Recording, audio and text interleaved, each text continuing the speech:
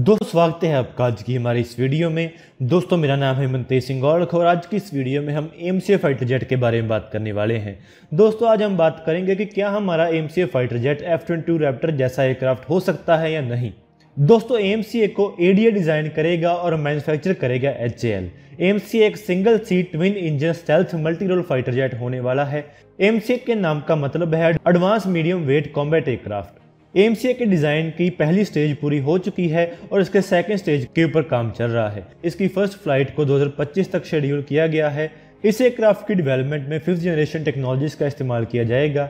इसमें तेजस के लिए डेवलप की गई टेक्नोलॉजीज़ का भी इस्तेमाल किया जाएगा और राफेल और स्कूई थर्टी एम और दूसरे मॉडर्न फाइटर जेट से इंस्पायर टेक्नोलॉजीज़ को भी इसमें लगाया जाएगा। एमसी की टॉप स्पीड 2600 किलोमीटर, यानी कि 2600 किलोमीटर पर आवर बताई जा रही है। और ऐसा बताया जा रहा है कि इस एयरक्राफ्ट के पहले वर्जन को एक विदेशी इंजन के साथ पावर किया जाएगा, जो कि जनरल इलेक्ट्रिक का एक इंजन होगा। इसके बाद आने वाले वर्जन को कावेरी इंजन के साथ पावर किया जाएगा, जो कि अभी डेवलप किया जा रहा है। एमसी में मॉडर्न सेंसर्स रडार्स और मिसाइल्स लगाई जाएँगी, जो कि इसराइली इंडियन रशियन और फ्रेंच ओरिजिन की होंगी। इसके डिज़ाइन के बारे में कुछ अपडेट्स आई हैं कि इसमें एक डी एस आई इंटेक लगाई जाएगी और इसमें इसके डार्क क्रॉस सेक्शन को कम करने के लिए भी काम किया जा रहा है।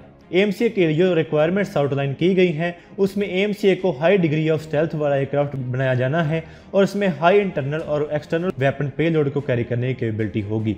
इसमें हाई इंटरनल फ्यूल कैपेसिटी होगी और इसमें ए टू एयर रोल से ए टू ग्राउंड रोल में चेंज करने की कैपेबिलिटी भी होगी। और इसके साथ ही इसमें सुपर क्रूज करने की कैपेबिलिटी भी होगी। एमसीए का शुरुआती डिज़ाइन एक tailless delta wing aircraft था, जिसमें ट्विन इंजन लगाए जाने थे।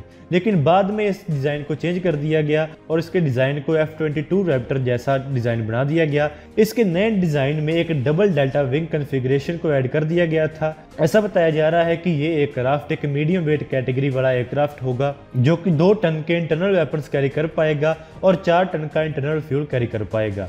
इसकी कॉम्बैट सीलिंग 15 किलोमीटर की होगी और इसकी मैक्सिमम स्पीड 1.8 मैक बताई जा रही है। एमसीएम में दो 90 के थ्रस्ट वाले इंजन लगाए जाएँगे, जिसमें थ्रस्ट वैक्टरिंग नोजल्स भी होंगी। एम में एक सेल्फ प्रोटेक्शन जैमर भी लगाया जाएगा, जो कि डार्क गाइडेड मिसाइल्स को जैम कर पाएगा। इसके साथ ही इसमें एक इलेक्ट्रॉनिक काउंटर मेजर सिस्टम भी लगाया जाएगा, जिसकी मदद से ये एक क्राफ्ट इन्फ्राइड गाइडेड मिसाइल्स को चकमा दे पाएगा। और इसमें एक रडार वार्निंग रिसीवर भी लगाया जाएगा, जिसकी मदद से ये एक क्राफ्ट दुश्मन के रडार की फ्रीक्वेंसी को डिटेक्ट कर पाएगा। तो चलिए अब बात कर लेते हैं कि क्या M C F twenty two जैसा एयरक्राफ्ट होगा या नहीं। दोस्तों F twenty two raptor aircraft एक dedicated air security fighter aircraft है, लेकिन एम एक dedicated air security fighter jet नहीं होने वाला है। बल्कि ये एक एफ़ थर्टी फाइव जैसा मल्टी रोल एयरक्राफ्ट होने वाला है। एम और एफ़ थर्टी फाइव एयरक्राफ्ट दोनों मल्टी रोल एयरक्राफ्ट होंगे। और इसके साथ ही एम सी और एफ़ थर्टी फाइव एयरक्राफ्ट दोनों मीडियम वेट फाइटर एयरक्राफ्ट हैं, और वहीं F twenty two fighter aircraft एक हैवी वेट फाइटर एयरक्राफ्ट है। एफ़ ट्वेंटी टू एक एडवांस फाइटर एयरक्राफ्ट है, लेकिन वहीं इंडिया ने अपने एडवांस जेट डेवलपमेंट प्रोग्राम को अभी शुरू ही किया है।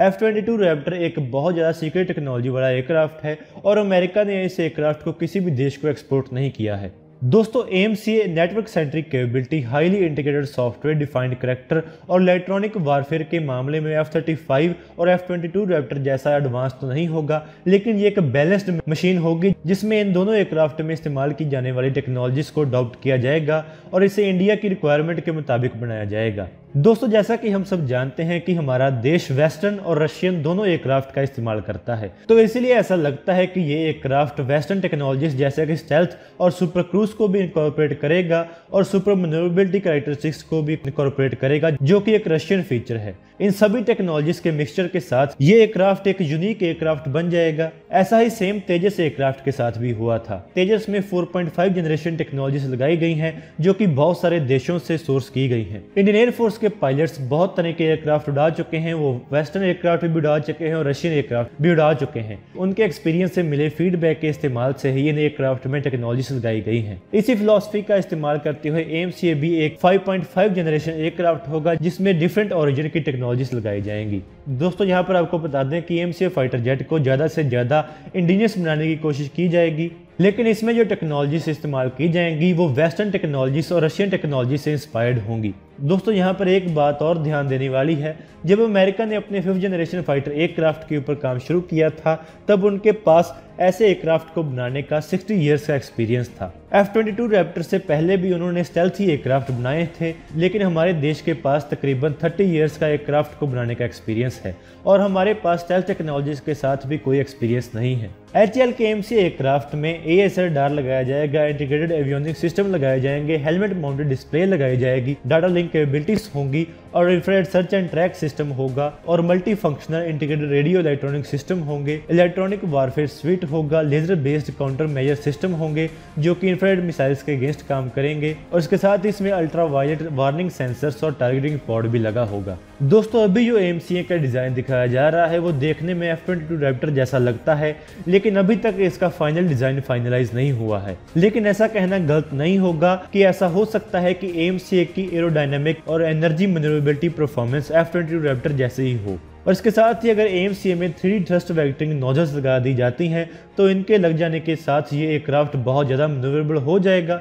दोस्तों, इसके साथ ही आपको बता दें कि स्टेल्थ एयरक्राफ्ट में स्पेशल मटेरियल्स का इस्तेमाल किया जाता है, ताकि वो रडार वेव्स को ऑब्जॉर्व कर सकें। ऐसा बताया गया है कि डीआरडीओ ने ऐसी कोटिंग्स को डेवलप कर लिया है और उन्होंने ऐसी कोटिंग्स को तेजस में भी लगाया है। लेकिन अगर इन कोटिंग्स को स्टेल्थ एयरक्राफ्ट में इस्तेमाल करना है और एक एयरक्राफ्ट को पूरी तरह स्टेल्थ बनाना होगा तो इसमें बहुत सारी एडवांस्ड मटेरियल्स का इस्तेमाल करना होगा। दोस्तों, जैसा कि आप सब जानते हैं कि इलेक्ट्रॉनिक वारफेयर सूट जो कि तेजस में लगाया गया है, उसे डिफेंस एवियोनिक सर्च एस्टेब्लिशमेंट ने डिफेंस इलेक्ट्रॉनिक्स रिसर्च लेबोरेटरी की मदद से सक्सेसफुली बना लिया है। इस इलेक्ट्रॉनिक वारफेयर स्वीट का नाम है मायावी तो यहाँ पर यह कहना गलत नहीं होगा कि एम के लिए एक इलेक्ट्रॉनिक वारफेयर स्वीट डेवलप करना हमारे देश के लिए बहुत ज़्यादा मुश्किल काम नहीं होगा। दोस्तों फ्यूचर का वारफेयर नेटवर्क सेंट्रिक वारफेयर होने वाला है। हमारा देश अभी ऐसी टेक्नोलॉजी को इस्टेब्लिश कर रहा है। एमसीए में ज़रूर ऐसी नेटवर्क सेंट्रिक कैपेबिलिटी होगी। ऐसा हो सकता है कि ये capability F thirty five aircraft जितनी एडवांस ना हो, लेकिन फिर भी ये फ्यूचर वारफेयर में बहुत अच्छा काम करेगी। 2010 में हमारे देश ने ए एफ़ नेट यानी कि एयरफोर्स नेटवर्क को लगाने का काम शुरू कर दिया था। तो दोस्तों, आज की इस वीडियो में इतना ही। अगर आपको ये वीडियो अच्छी लगे तो आप इसका ज़रूर लाइक और शेयर करें। Thanks for watching this video जय हिंद, वंदे मातरम।